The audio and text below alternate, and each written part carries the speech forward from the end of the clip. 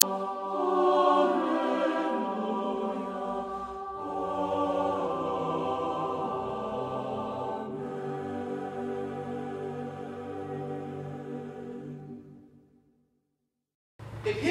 has been all about light, right?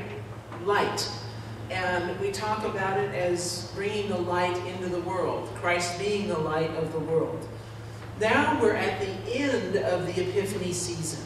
We're at the Sunday that is called Transfiguration Sunday. This month it happens to fall on the very same day as Communion as well. So that's kind of a good serendipitous happenstance because Transfiguration has to do with transformation. And for us, communion is something that helps us to be transformed.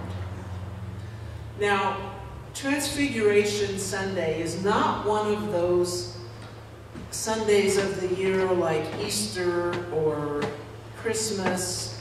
Uh, it's not really up there with Advent and Lent and Pentecost. So it's not something that everybody always is like, oh yeah, I know what that's about. I got it. I, know, I, I don't even need to go. I know what Transfiguration Sunday is about. Sometimes people don't really know or get it. And it's kind of a strange story, the one that we heard Virginia tell. Transfiguration is the last stop before Lent. Lent begins this week on Ash Wednesday. But what's it about? What is it that we're commemorating or celebrating or talking about? Well, what it celebrates is the transfiguration of Jesus. And what that means is that now that true nature, all Jesus' divinity, all his godliness is revealed suddenly seen, momentarily seen, while he was still here on earth as a human being walking with us, with Peter, James, and John. Just a brief moment. Now, some of us might not get the impact of that from experiences in our own lives or from standing here. So I thought of a few stories, a few examples that you might relate to, to exactly how impressive this was. Any of you ever watched Star Trek? There's a couple of episodes, various times in Star Trek, where Captain Kirk is having conversations with some wise being from some other planet or some other galaxy or something. And the being is manifesting itself as maybe a rock or another humanoid of some kind. And after a while, we find out that that's not the being's actual appearance. That's not the way they really look. And when Captain Kirk asks them why they won't appear in their true selves, what is it they're trying to hide, they say that they don't appear as their true self because it would be too much for Captain Kirk to handle, or for any human to handle. That it would be too intense, too bright, too frightening perhaps, all of these things. And there have been a couple episodes where they actually did give him a glimpse. And he was like, oh, never mind, you're right, go back to that other, you know, I, I, you're blinding me, you know, kind of thing. That, that's how intense that was. It's not quite like The Wizard of Oz and the Man Behind the Curtain, because that was disappointing. You know, it was just this little you know, frog-like man behind the curtain not doing anything, except madly pulling levers. God's kind of the opposite. You know, God is the giant Oz that was being said there. We have all of these myths in our society about these giant, un, ununderstandable beings. And just for a moment, Peter, James, and John saw that godliness and that light and that divine power of God within Jesus. Now, just before this, in the week, week ahead of this little trip up the mountain, Jesus had been explaining to all of his apostles and disciples that hard times were coming. He'd been telling them that he was going to be betrayed. He'd been telling them that he was going to die, that he was going to be crucified. He'd been explaining to them that there were some tough times ahead and that they were going to have to continue on. He told them that he wasn't going to leave them without comfort. He told them he was going to give them a Holy Spirit. But he told them, you are going to have to soldier on. I will be gone. I will be ascended to the Father, but I will have been crucified.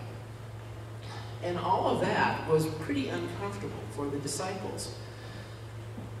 They were talking about all of it, and in one of the conversations, Jesus asked the disciples, who are people saying that I am? Who do they say that I am? And the disciples told him, well, some people say you're a prophet. Some people say you're John the Baptist resurrected. Some people say you are Elijah coming again. Some people say you are Moses. But then Jesus asked Peter, who do you say that I am? That's an important question. We're being asked that question. Peter's answer is, you are the Messiah, the Christ. And this is the first time that he makes that claim. He continues to tell them that we have a cross to carry. We ourselves, after his cross, we have our own cross. And what is that? It is our task. It is our challenge. It is whatever it is we have to do to stay faithful to God and to carry out and share God's love.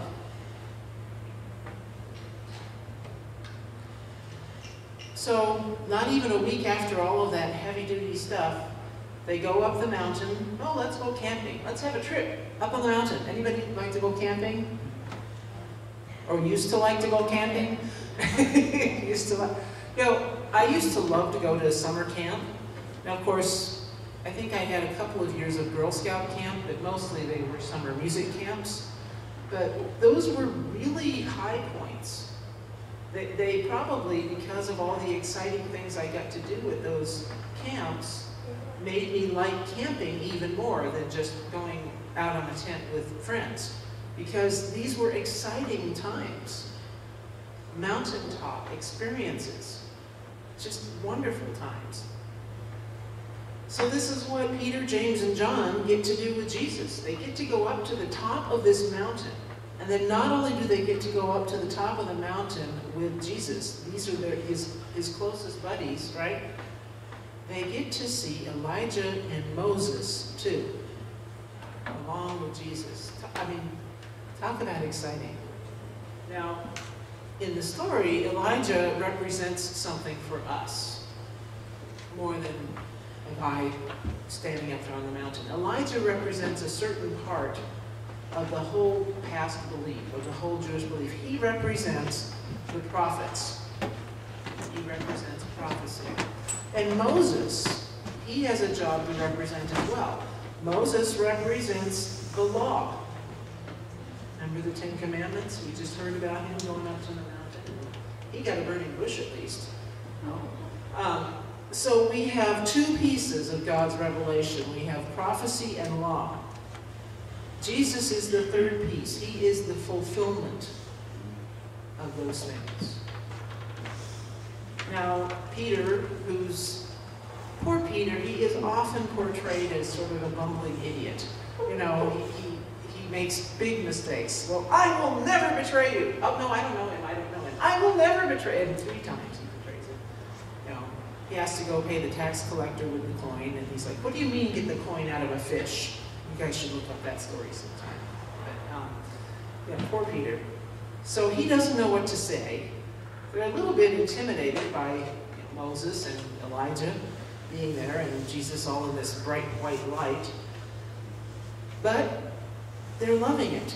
It's exciting and intense. So Peter, being Peter, says, I know, I'll build some huts. And we can just stay up here in this exciting and intense and wonderful, glorious time. We can just stay here. This is great. This is good for us. Let's just stay here where it's all fun and games, where it's all exciting. Let's stay at camp all year. But right about then, God says, This is my son, with a you know, big voice of God comes down in the story. And then Moses and Elijah are gone, and it's just the four dudes. And they come on down the mountain. They have to come down the mountain. And they have to listen to Jesus. Jesus tells them, don't blab about this until after the resurrection, by the way. You know I told you there's going to be a crucifixion and a resurrection. Then you can tell everybody about experiencing the holiness of God and that. But if you do it now, they're just going to think you're crazy. So just wait until the big moment happens. The whole thing is a pretty strange story. You know, it's just, it's really odd. But what I see from it is this excitement and energy of the mountaintop. And we want to stay in there. Probably the people going to the Oscars later today and getting their awards, they want to stay in that bevy of excitement. we all have our things that we do, you know, I mean, the musicians, a couple of them are here today. When we have a big concert here with the orchestra, after week after week after week, we work hard carrying our crosses, right? We work hard doing all of that. We finally get to the concert, and it's usually pretty exciting, kind of an adrenaline rush, you know, when you get through. And you want to always have it that way. To have to come back after it. Two or three weeks later, you're starting over. All new music, nobody knows what they're doing, everybody's lost, nobody knows what, you know, mm-hmm. it's drudgery. But it takes us to a glorious reward. We want to stay in that glory. But we got to come down and work. In some ways, we can relate other than just with music. Sometimes we come here together and we spend wonderful time together. Know, warm, fuzzy time, or sudden, glorious inspiration, excitement and fellowship. Or we just look up at the ceiling and say, wow, what a gorgeous ceiling. And we want to stay in that where we're comfortable. But we can't. We're growing and changing every day. New people, new energy, chores to do around town, chores to do right here in the building. You know, we come together on Sunday and we enjoy it, but we got to come back during the week, on the weekend, or come early or stay late, and make the place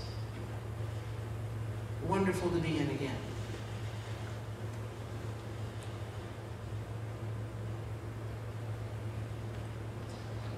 Lot of times, like Peter, we don't want the high energy, high excitement to end. We want to keep it. And we want to share it. But when we share it, we invite change. Even if it's something as simple as someone comes into our fellowship and we make room. And we make sure things are nice for them by welcoming them and by keeping stuff nice so people can enjoy their time here.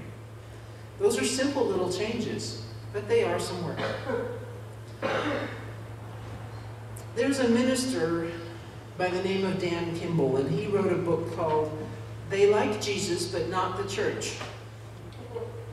And in the book, he writes about some research that he did, and it shows that a lot of people that are outside the church, not just this church, any church, have a great opinion of Jesus and his life and his message, but they have a bad opinion of Christians, finding them to be hypocritical and judgmental and sometimes sheltered. And he theorizes about it, and he concludes that without meaning to, sometimes Christians are like pretty scenes trapped in a beautiful snow globe. This is his, his words. We live in a bubble and we like it there and we want to stay there. We tend to mostly interact with, live near, and spend time with people who are like us and who share our beliefs. Instead of being the church, the body of Christ, we focus on the church as a place where we might invite people to come. But we're unlikely to bring church, Christ, to them. And so it's hard to reach others from inside the bubble. I'm not saying that we are like that here.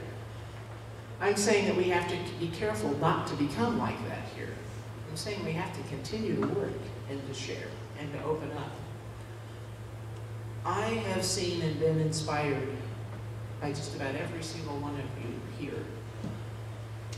Your welcoming, your work, your outreach, just plain sharing and being here.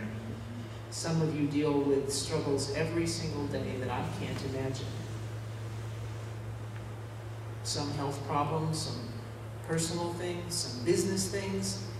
We all have tough things that we deal with.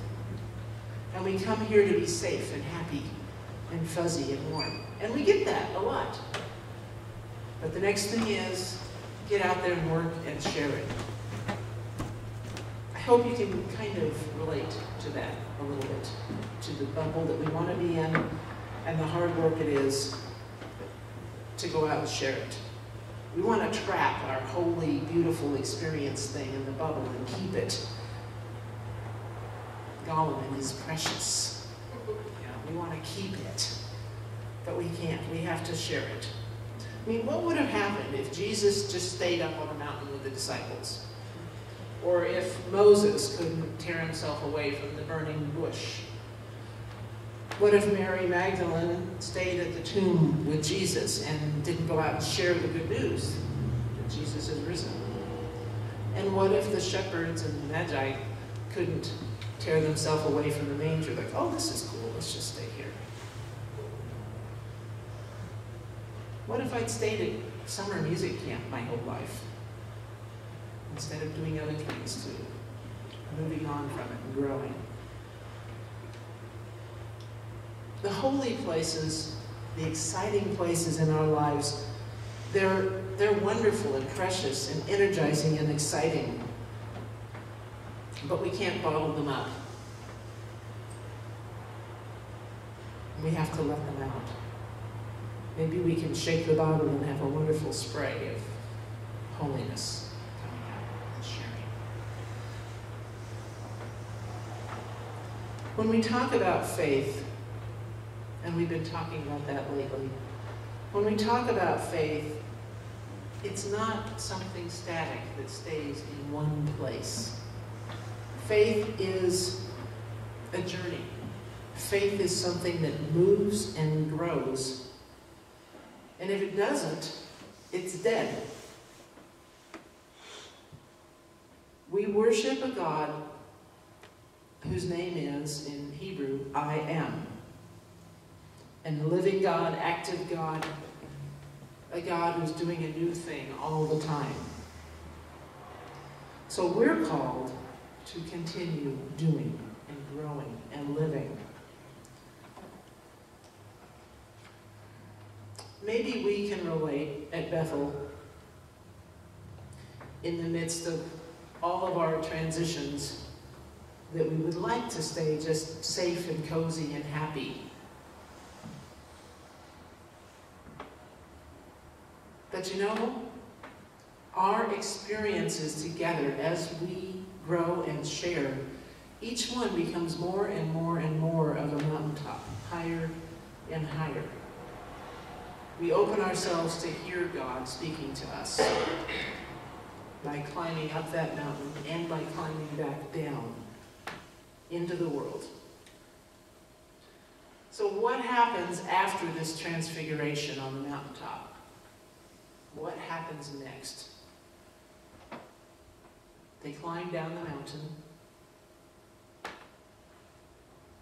They start living their lives, picking up their crosses, doing their chores, feeding the hungry. But they have been transformed.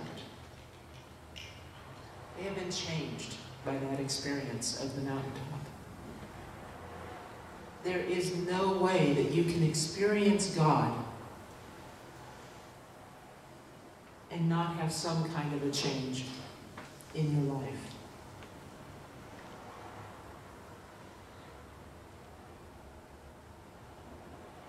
If you're a Harry Potter fan at all, you know that at Hogwarts there was an entire section of the curriculum devoted to transfiguration. And in Harry Potter, what that was about was magically changing form and appearance of something. Like turning a bird into a goblet or something like that. Learning how to transform the outward appearance of one object into another.